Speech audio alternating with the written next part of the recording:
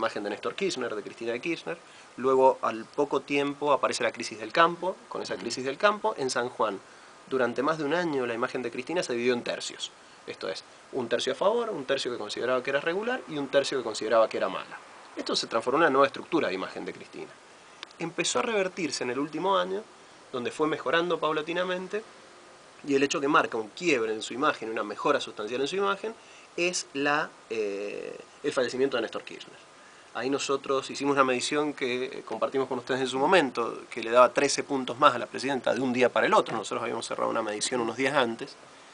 Y eso marca que la presidenta llegue a rozar los 70 puntos de imagen positiva en San Juan. La situación del país... Igual que Gioja. No, Gioja ha estado siempre por encima. Bueno, Sí, pero... Te doy los ¿Cuánto datos más? de hoy. A ver. Te doy los datos de hoy. Eh, José Luis Gioja 83 de positiva, 12 de regular, 4 de negativa, un diferencial de más 79.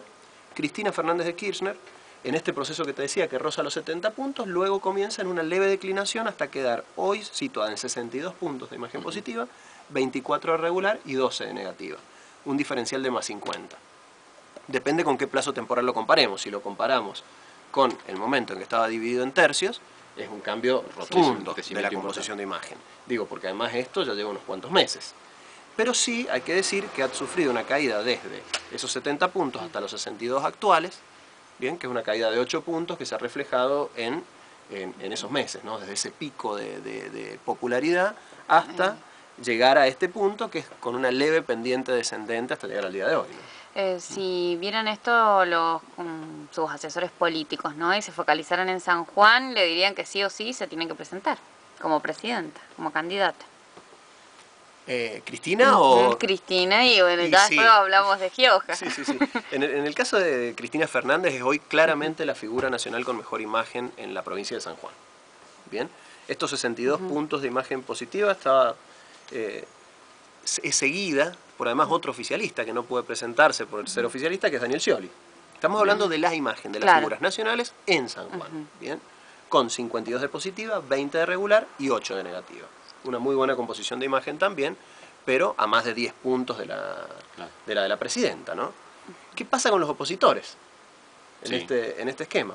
Hay una distancia sustancial, digamos. El, oposi- el opositor mejor eh, posicionado en San Juan es hoy, cosa que hubiera sido increíble y muy difícil de decir hace un año, Ricardo Alfonsín. Bien. Bien. Sorprendente. Sí, es normal también por toda la exposición mediática que está teniendo Alfonsín, cómo está recorriendo distintos puntos del país, ya con su precandidatura presidencial. Ay, Pero yo ni ha aparecido por San Juan.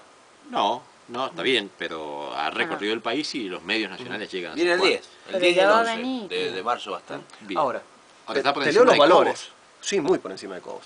Te leo los valores de Ricardo Alfonsín. 26 de positiva, 21 regular, 12 de negativa, más 14. Está muy lejos. Entonces acá hay un elemento adicional. Ha crecido Ricardo Alfonsín, pero han caído muchas otras figuras. Es más, quizás para explicar el fenómeno de que Ricardo Alfonsín esté en primer lugar entre los opositores hoy, sirva más entender qué pasó con Mauricio Macri, con Julio Cobos, etcétera, que estaban muy por encima de esos valores y hoy no lo están. O sea, no solamente ha habido un crecimiento eh, interesante en cuanto al nivel de apoyo en San Juan de Ricardo Alfonsín, sino que había un deterioro, un deterioro también de Mauricio Macri y sobre todo y fuertemente de Julio Cobos. Creo que esos dos elementos también ayudan a entender eh, un poco esta situación. Bien,